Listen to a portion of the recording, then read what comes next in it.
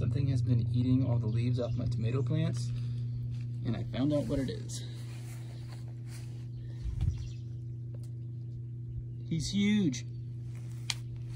I can't imagine the kind of moth that this thing's gonna turn into. He's gonna be the size of a bird. My hand for some scale.